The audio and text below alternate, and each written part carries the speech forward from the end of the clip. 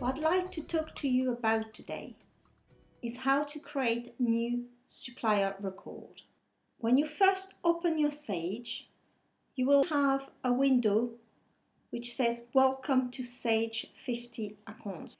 This is what I call your view window. And the first one that opens is your welcome page. On the left hand side, the screen is split up into three parts. The first part is what I call task, and it's very often new activity to do with your modules. For example, opening new supplier, opening new customer, creating new invoices, that type of thing. The second part, it's called the links. It's usually more historical. It's looking at things that have already happened in Sage.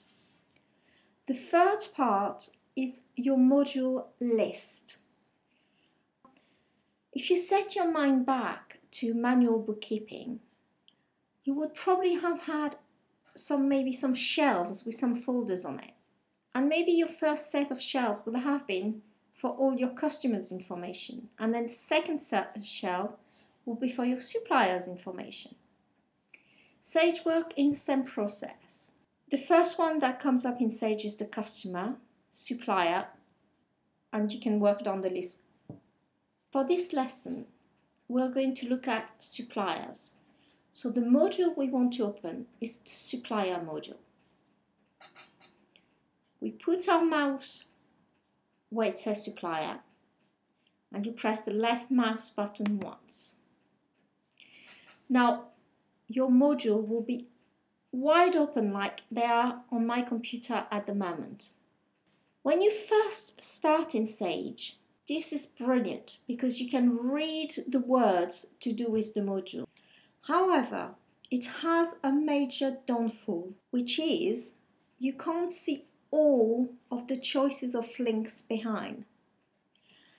And I do like to have as much of my choices visible when I'm working.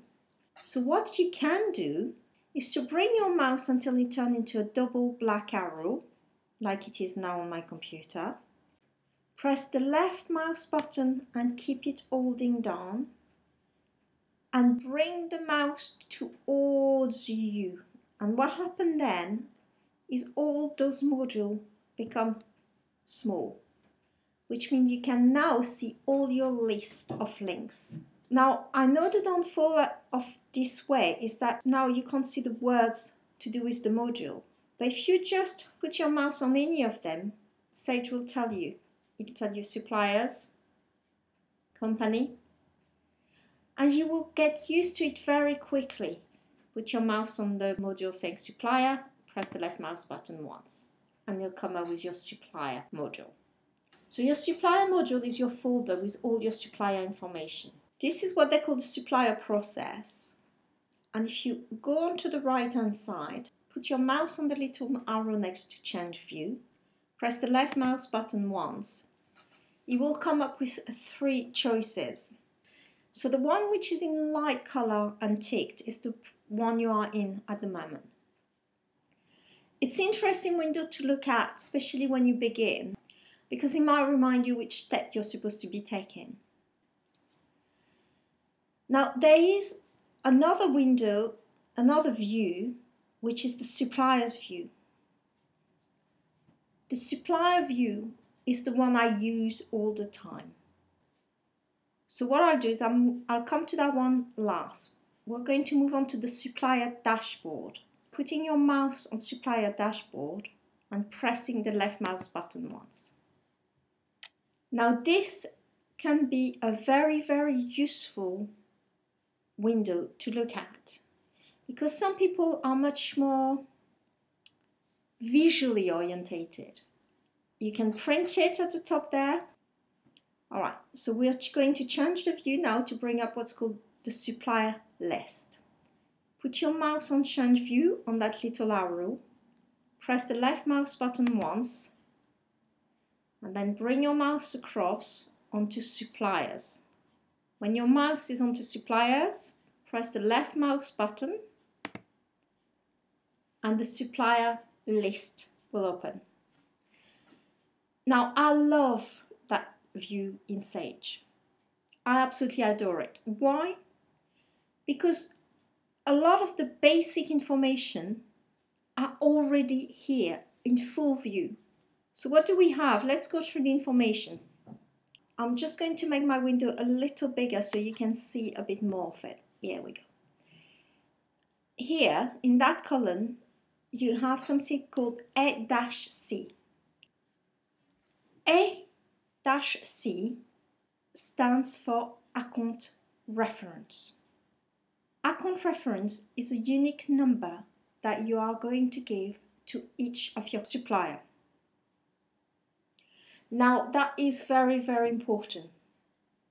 It's a unique number. What it means is that you cannot change it. So before you set up your suppliers, make sure you have a think about your system. A-C account reference is eight characters, can be letters or numbers, or a mixture of both you have to establish a rule that is going to be fixed for your business that will work to the end of days. Now, the next part on the screen is the name. You have all of your suppliers' name li listed here. You have the balances and the credit limit.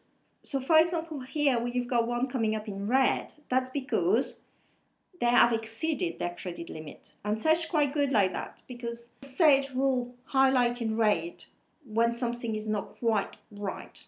You have the first contact name and the first telephone number. So you could just from that window pick up the phone and phone your supplier. The other reason why I like this window is because everything can be ordered alphanumerically. So let's say you know the name of your supplier.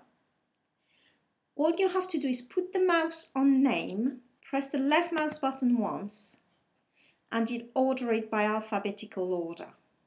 In this case, it was already ordered, so it came up with the W.